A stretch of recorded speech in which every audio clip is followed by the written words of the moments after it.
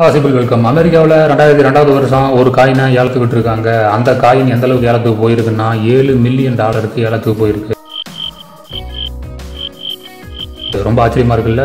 ஆயிரத்தி தொள்ளாயிரத்தி தொண்ணூற்றி மூணாவது வருஷம் ரெண்டு கழுகு படம் போட்ட மாதிரி தங்க காயினை அச்சடிச்சிருக்காங்க. சில காயினை மட்டும்தான் அச்சடிச்சிருக்காங்க.